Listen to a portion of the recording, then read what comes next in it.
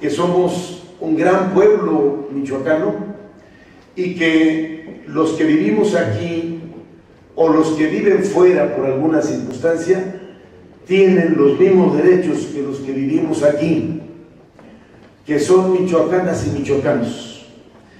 Pero también son michoacanas y michoacanos los que han decidido venir a Michoacán y ya han hecho de Michoacán su casa, su tierra, su hogar, y que igual que los que nacimos acá, también se sienten orgullosas y orgullosos de ser de esta tierra. Hay muchos casos, muchos casos de mujeres u hombres que han venido de otras tierras, que al llegar a Michoacán se encantaron de la cultura, de las tradiciones, de la historia, de la gastronomía, de la música, de los paisajes y sobre todo de la hospitalidad de su gente. Las michoacanas y los michoacanos somos gente buena, gente trabajadora, gente emprendedora, inquieta y siempre recibimos con los brazos abiertos a quienes nos visitan. Y así como nosotros queremos que se respeten los derechos de nuestros hermanos de acá, también alzamos la voz porque se respeten los derechos de todas y de todos los migrantes del mundo. Que quienes se ven obligados a esta circunstancia son seres humanos, mujeres y hombres igual que nosotros, y que tienen derecho a mejores condiciones de vida, ya que se les respete plenamente su dignidad. Por ello la importancia de este, de este encuentro, de este evento y de esta celebración que la ONU ha establecido a partir del año 2000, porque hay que visibilizar el fenómeno, hay que hacer que se vea y hay que hacer que los gobiernos se sensibilicen hacia él y a darle la atención que requiere, que necesita. En eh, esta circunstancia, México siempre ha sido un país solidario con los migrantes y se han hecho grandes esfuerzos, incluso hemos mejorado nuestra normatividad, nuestras leyes para proteger los derechos de los migrantes, cualquiera que sea su origen, pero que vienen a México y hay que garantizar su estancia, su retorno o la ruta que ellos decidan realizar. Eh, en este contexto, diría pues que no veamos a la ligera un tema de la relevancia como es la migración. Hay que verla en toda su dimensión. Nos duele mucho, por ejemplo, que a nuestros hermanos cuando crucen la frontera se les maltrate. Pero duele mucho también que cuando otros hermanos Centroamérica o Sudamérica o de cualquier otro país vienen a México, se les maltrate. No podemos pedir, por un lado, que nos respeten y por el otro lado no respetar. Eso es incongruente. Entonces tenemos que hacer todo. Gobiernos municipales, gracias Ángel por acompañarnos, presidente de Islán. Eh, gobiernos municipales, gobiernos estatales y desde luego el trabajo que realiza el gobierno federal porque siempre cuando hay un tema de migración, luego decimos es que ese no le toca a los estados, ese es el gobierno federal. No, es un tema humanitario, es un tema de derecho y nos toca a todos.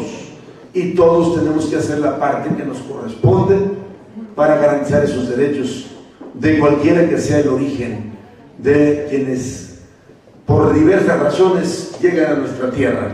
De ese tamaño es el reto y debe ser el compromiso. Aquí en el Estado de Michoacán, conscientes de esto, comprometidos con la causa migrante, hemos formulado una agenda que varios puntos de ella se están cumpliendo. ¿Salud? Eh, varios puntos se están cumpliendo. Que el tema migratorio lo atienda alguien que sabe de migración, que lo ha vivido. Eh, mejorar las leyes, hemos avanzado en mejorar nuestras leyes programas eh, para nuestros hermanos de, de educación, de capacitación, de acompañamiento en trámites y otros más que están en marcha y algunos que han resultado realmente exitosos, como la iniciativa que puso en marcha José Luis de Palomas Mensajeras, de permitir el reencuentro de familias que por décadas no veían a sus hijos, a sus nietos.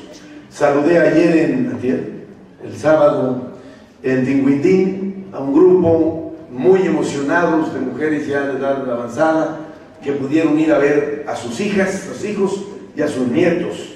Los nietos ya tienen 15, 20 años. Se imaginan ustedes el tiempo que tenían sin ver a sus hijos.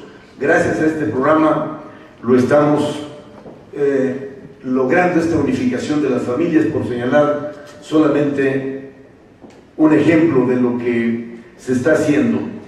Y por otro lado, pues el trabajo permanente para mejorar nuestra capacidad institucional, nuestros instrumentos legales, perfeccionar y mejorar nuestros programas de acompañamiento para eh, empoderar económicamente a nuestros hermanos migrantes y con ello también cuando regresen pues tengan horizonte, tengan expectativa, haya futuro cuando regresan a su tierra y no sea encontrarse en la desolación y en el desamparo, que es una cosa muy, muy triste.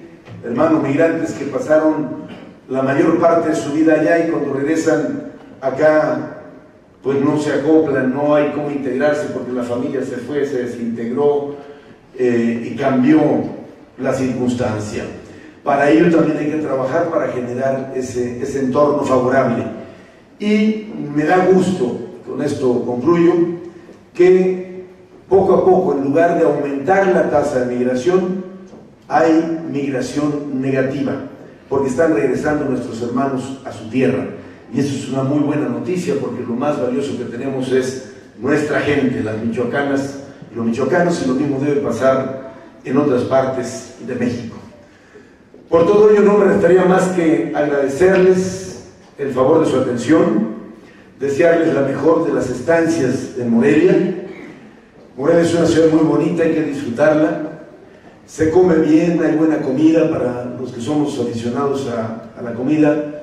Aquí se van a encontrar con cosas muy gratas para el paladar y hay que aprovechar los lugares hermosos para visitar y que todo eso sea en bien de su estancia en este estado maravilloso y esta capital hermosa que es Michoacán y Morelia. Felicidades, sé que hoy termina la semana estatal del migrante y pues les deseo que todo sea para bien y que tengan feliz retorno quienes regresarán a sus países de origen. Muchas gracias por escucharme.